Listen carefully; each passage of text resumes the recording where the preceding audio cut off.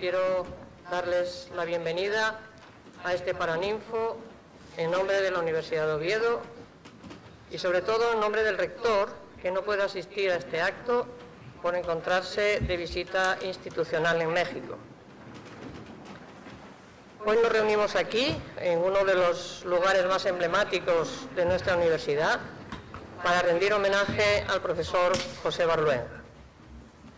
Me acompañan en la mesa el viceconsejero de Cultura y Deporte, don Alejandro Calvo, el presidente de la Real Sociedad Española de Química, don Jesús Jiménez Barbero, el profesor Kilian Muñiz, que presentará al conferenciante, el profesor Manfred Retz y el profesor y coordinador de este homenaje, Francisco Javier eh, Fañanás, a quien ya le cedo la palabra. Muchas gracias.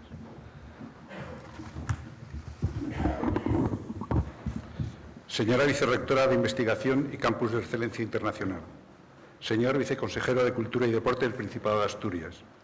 Señor Presidente de la Real Sociedad Española de Química. Profesor Muñiz. Profesor Barluenga. Profesor Retz. Señoras y señores.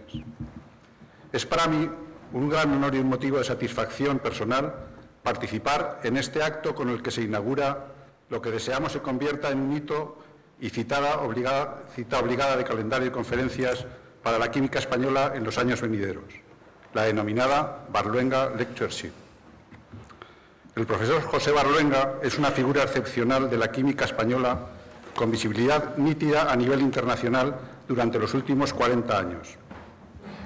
Su singular y fuerte personalidad y sus sobresalientes contribuciones lo destacaron como uno de los pocos miembros de la generación que en los años 70 del siglo pasado marcaron la dirección y se convirtieron en la fuerza motriz responsable del despegue de la química en nuestro país.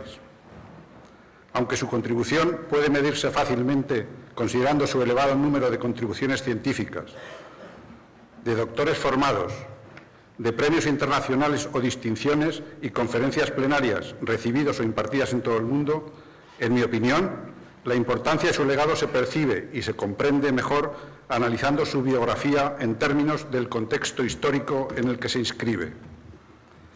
Para lograrlo tenemos que retrotraernos a finales de los años 70, momento de los años 60, perdón, momento histórico en el que, eh, el que España era una autarquía aislada de Europa y del resto del mundo. Una de las frases más desafortunadas de uno de nuestros mejores pensadores, dejar que investiguen ellos, o que inventen ellos, representaba fielmente el sentir y el hacer de aquella época. En ese contexto, un joven y recién licenciado, José Barluenga, decidió dedicar su vida a la investigación y tratar de convertirse en un científico. Ciertamente una decisión arriesgada y valiente. Entendió rápidamente que la única manera de lograrlo era formarse consecuentemente y eso pasaba por trasladarse al extranjero. Así, con su mujer, y un escaso, equipaje, pero repleto de ilusiones, se fue a Alemania, donde estuvo cerca de cuatro años y donde consiguió una sólida formación como químico. Permítame recordarles una vez más que era a finales de los años 60 en España y que esa decisión fue sin duda inusual e incierta. Tras este periodo de formación tomó una segunda decisión crucial para su carrera y que refleja su amor por su país regresar a España para tratar de desarrollar una carrera científica. Decisión de la que todos ustedes estarán de acuerdo conmigo se puede tildar de patriótica, mucho más considerando que dispuso de oportunidades y ofertas mucho más atractivas en aquellos momentos. Como ha mencionado muchas veces, encontró aquí un desierto científico, científico completo, en sus propias palabras, un erial. No se disponía de los medios, condiciones y estructura necesarias para realizar investigación. La inversión en investigación era prácticamente inexistente, los salarios para el personal ridículos y la consideración social de esta gran tarea muy escasa. Una situación que desgraciadamente en estos momentos podría volver a ser de alguna manera reconocible. José Barluenga estaba ciegamente entusiasmado por la química y su pasión era contagiosa. Fue capaz de estimular e implicar a un puñado de jóvenes estudiantes y con ellos comenzó a construir un grupo que con el paso del tiempo originaría una escuela que llegó a conformar una de las referencias significativas en el campo de la química orgánica nacional. De forma paralela a su trabajo de investigación y consciente de que era preciso realizar un cambio drástico en la organización de la Universidad Española, dedicó tiempo y energía a esta tarea con enorme tenacidad. Estuvo comprometido e involucrado directamente durante distintas etapas en la construcción de una nueva estructura científica y un nuevo sistema de evaluación a nivel nacional en colaboración con personas que de forma generosa y visión de futuro realizaron un cambio que significó un giro positivo para el país. Por último, quiero dedicar unas palabras a su implicación con el Principado de Asturias, desde el momento de su llegada a Oviedo en 1975. Encontró un departamento de química sin la dotación humana e infraestructura necesarias para llevar a cabo la investigación. En pocos años, el Departamento de Química Orgánica y la Facultad de Química fueron reconocidos en España como un posible modelo y fue don José el responsable principal de este cambio. También fue decisiva su participación para la construcción de un nuevo edificio para la Facultad de Química, referencia para otras muchas que se construirían en el resto de España a comienzos de los años 90. Intuyó que el futuro de la investigación de calidad pasaba por la creación de institutos especializados y fue promotor del Instituto Universitario de Química Organometálica Enrique Moles, nombre en el que se personaliza a una de las figuras pioneras en los momentos difíciles. La trayectoria singular y de excelencia de la obra de Enrique Moles Ormella y la dificultad de los tiempos en la que se desarrolló constituye ciertamente un modelo de referencia en la actualidad. Volviendo a los institutos y con carácter general, el paso del tiempo ha demostrado el éxito de este tipo de apuesta. Así, con el apoyo de los gobiernos autonómicos, se han creado y dotado una serie de centros de investigación que son referencia en el país. A modo de ejemplo y sin ser exhaustivo, se podrían citar por su dimensión el ICIC en Cataluña, Biogune en Euskadi o CICUS en Galicia. Su compromiso con esta comunidad, con la de Asturias, fue reconocido con fecha no muy lejana con la concesión de la Medalla de Plata de Asturias por el Gobierno del Principado de Asturias. Esta breve reseña biográfica simplemente pretende aportar unas pinceladas que acercan y permiten comprender mejor la obra y trayectoria de José Barluenga. No podemos olvidar nunca estas figuras singulares y pioneras. Su espíritu y su legado se deben mantener vivos en nuestras mentes para recordar de dónde venimos y en qué dirección deberíamos ir, sin distracción, sobre todo en los tiempos difíciles que estamos viviendo y que probablemente nos van a tocar vivir durante unos cuantos años más. Quiero agradecer al Departamento de Química Orgánica e Inorgánica y al Instituto Universitario de Química Organometálica Enrique Moles por tomar la iniciativa de promover la conferencia Barluenga Lectureship. Quiero agradecer también al Gobierno del Principado de Asturias y, en particular, a la Universidad de Oviedo por su sensibilidad al acoger y apoyar esta iniciativa. Me gustaría concluir mi intervención manifestando mi compromiso a dedicar esfuerzos por mantener su legado en las siguientes generaciones de químicos en España. Muchas gracias.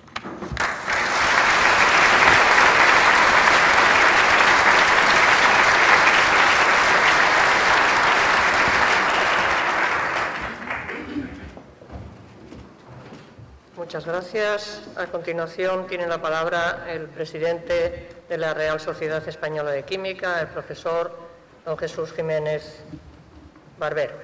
Muchas gracias. Señora vicerrectora, señor viceconsejero, miembros de la mesa, estimados colegas, señoras y señores, queridos amigos. Desde la Real Sociedad Española de Química nos sentimos muy orgullosos de participar en este evento. Celebramos el homenaje a un gigante de la ciencia, alguien que ha contribuido, como pocos, al desarrollo y a la visibilidad de la química en España, en Europa y en el mundo. Alguien que ha creado una escuela sin la que no se entiende el lugar que ocupa la química española en el contexto internacional. Tras las hermosas palabras del profesor Fañanas, no voy a profundizar en el personaje y en todo lo que representa. Simplemente quiero decir que desde la Real Sociedad Española de Química estamos muy honrados en apoyar con toda nuestra ilusión esta nueva iniciativa. Estoy seguro de que la Barluenga Lectureship ocupará un lugar destacado en los eventos científicos españoles y europeos, y la Real Sociedad Española de Química apoyará este evento como apoya las grandes iniciativas científicas en el ámbito de la química que se dan en nuestro país. ¿Qué puedo decir de la química en este foro? La química es esencial para el desarrollo de nuestra sociedad y para el aumento de la calidad de vida. Generamos nuevo conocimiento sobre la naturaleza de la materia, creamos nuevas sustancias, exploramos nuevas fuentes de energía y ofrecemos soluciones a la demanda de nuevos fármacos, materiales y mejores alimentos. La química en este siglo XXI sigue siendo la ciencia central. Interacciona con todas las otras ciencias, desde la física hasta la medicina. En todas estas ciencias se usan más y más conceptos y métodos de la química para estudiar fenómenos o generar productos útiles para la sociedad, materias primas y de alto valor añadido.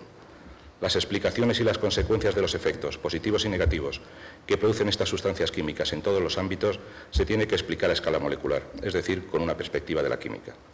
Hablando ahora como presidente de la Real Sociedad Española de Química, honrado por poder representar a nuestra sociedad en este evento, he de decir que somos 4.000 socios que llevamos más de 110 años enseñando, divulgando e investigando en química.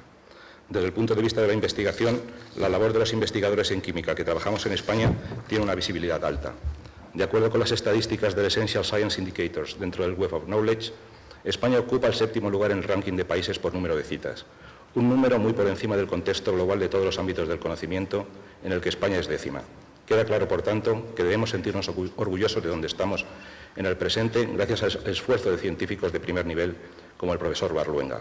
Por supuesto, hay que seguir trabajando, más y más duro, como él, seguir teniendo ilusión y optimismo para el futuro. Existen muchos grupos de investigación en nuestro país que hacen buena investigación, tanto básica como orientada. Este hecho trasciende nuestras fronteras y es esencial para el futuro de nuestra sociedad. De hecho, varios de nuestros grupos en química acceden continuamente a, proyectos europeos, incluyendo Advanced Grants de la European Research Council. No obstante, todos conocemos, como ha mencionado el profesor Fañanás, el contexto en el que nos encontramos. Una pésima situación económica que ha provocado un decaimiento notable desde 2009 de la financiación de la ciencia española y obviamente también de la química. No voy a incidir más en las consecuencias a las que está llevando la caída continuada y prolongada de la inversión, pues son de sobra conocidos. Si queremos tener una sociedad moderna basada en el conocimiento, hay que invertir en ciencia y seleccionar adecuadamente el destino de la inversión, siempre con el objetivo de la calidad. En definitiva, ser conscientes de que es necesario sembrar, sembrar con criterio y paciencia para recoger en el futuro. Posiblemente es necesario un cambio de modelo en la estructura de nuestras instituciones científicas, pero esto no debe ser obstáculo para seguir invirtiendo con criterio en ciencia. Los datos de la empresa Industria Química y los datos de la investigación demuestran su importancia para España. Una parte importante del futuro de nuestro país está en nosotros, desde el punto de vista de la investigación, tanto en los grupos consolidados como en los más jóvenes. Tenemos que saber mantener su ilusión, disposición, entusiasmo, esfuerzo, cada uno en la medida que nos corresponde. Por supuesto, tal y como siempre ha defendido el profesor Barluenga, debemos valorar el esfuerzo y la calidad. Creemos que es posible ofrecer motivación, premiando el esfuerzo y la calidad por encima de todo. Si conseguimos hacerlo, podemos mirar el futuro con optimismo. Apostemos por la sociedad del conocimiento, apostemos por la química. Tengamos como espejo al profesor Barluenga. Su trabajo, su criterio, su devoción, su continuo espíritu crítico, su apuesta por lo mejor. Pensamos que merece la pena. Por la química, por nuestro país, por nuestro futuro. Muchas gracias.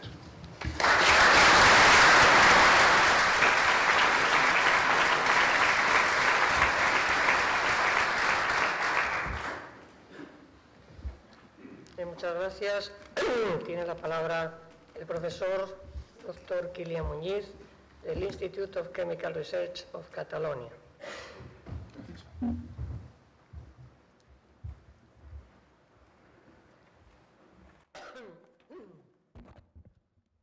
Estimada señora vicerectora de la Universidad de Oviedo, estimado señor viceconsejero del Gobierno del Principado de Asturias, querido señor presidente de la Real Sociedad Española de Química, Estimadas autoridades, estimadas señoras y señores, queridos amigas y amigos, pero sobre todo, naturalmente, querido José Baluenga, lieber Professor Reetz, it is an honor, it's an even bigger delight to be here today, to be able to chair the first edition of the new Baluenga lectureship series which the University of Oviedo and uh, the Faculty of Chemistry installs today. And we're very grateful that our inaugural lecturer is Professor Manfred Reetz, who holds joint appointments with the Max Planck Institute for Coal Research in Mülheim and the Philips University of Marburg in Germany, and who was selected anonymously by the nomination committee some time ago and gratefully acknowledged that he came here today to join for this first inaugural lecture. I was asked to uh, hold a German-style laudatio, but not doing it in German. So uh, you forgive me that for the other invited members who come from abroad, I hold this uh, laudatio in English. We will see Uh, although the, the lecturer, of course, is uh, a very renowned scientist and uh, hardly needs an introduction, uh, I will nevertheless go a little bit longer than usual in the scientific lectureship and try to explain why we chose uh, particularly Professor Reetz for this occasion. So uh, Professor Reetz was born a few years ago in Hirschberg in Silesia. By that time it was Germany, now it's Polish.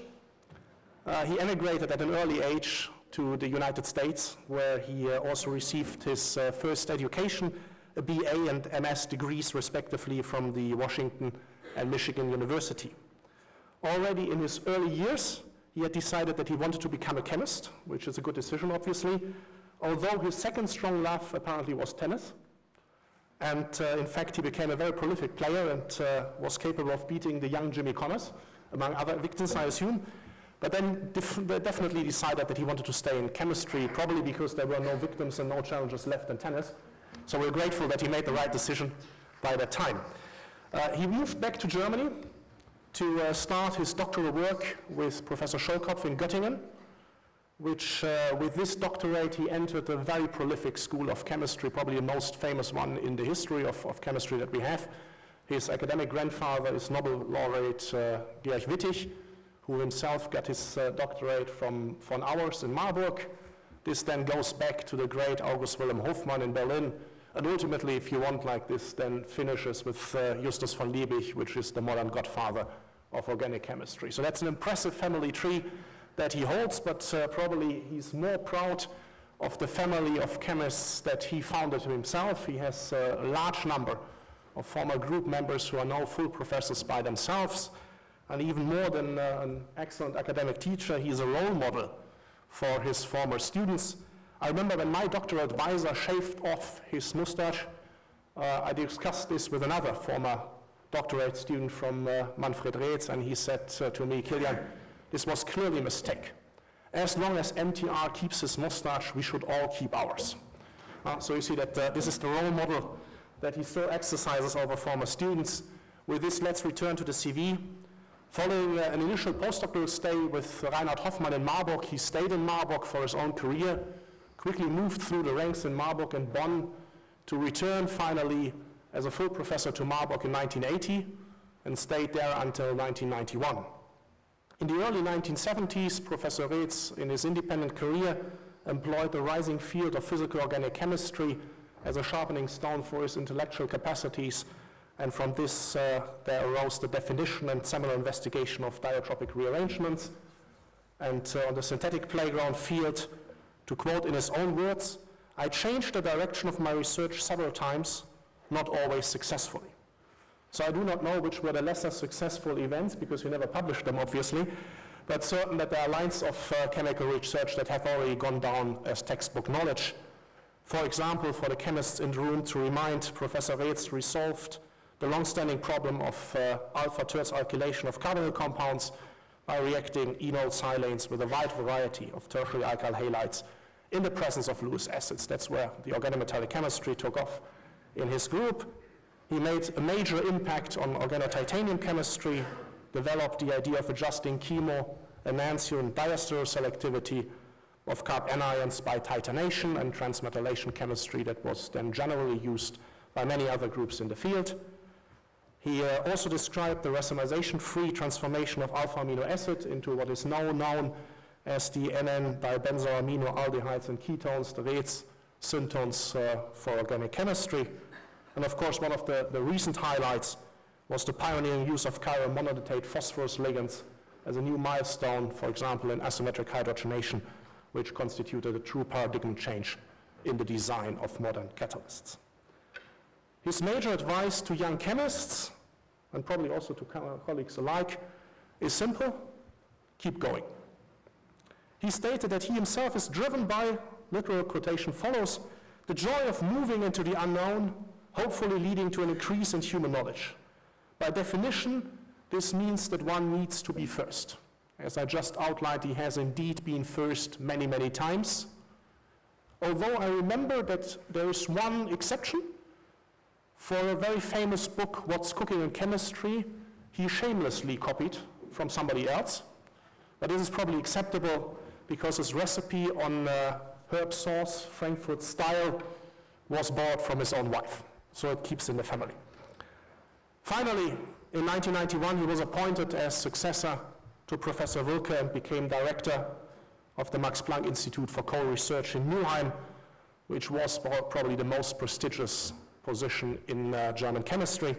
He himself has described the exciting times in a recent essay early this summer in Angewandte Chemie, and I'll let you referring to this uh, article by yourself later on.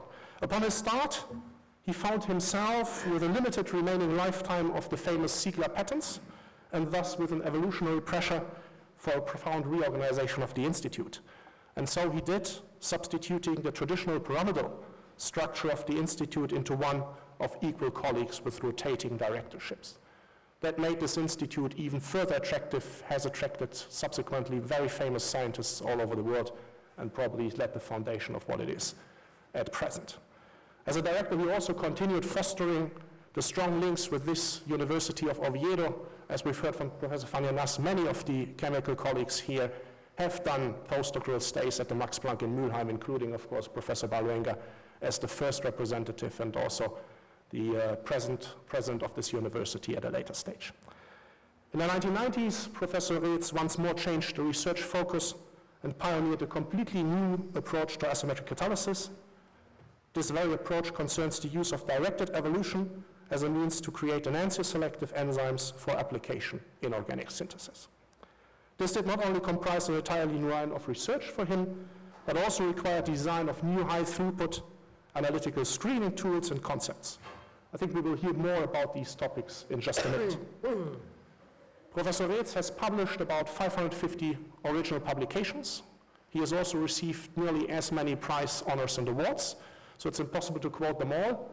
I will just mention one, which I think is outstanding. In 2011, he received the Otto Hahn Prize, which is uh, a prize given to a German natural scientist and is awarded jointly by the German Chemical and the German Physical Society and by the mayor of Frankfurt. It's an outstanding honor, and he received this, as I just mentioned, in 2011.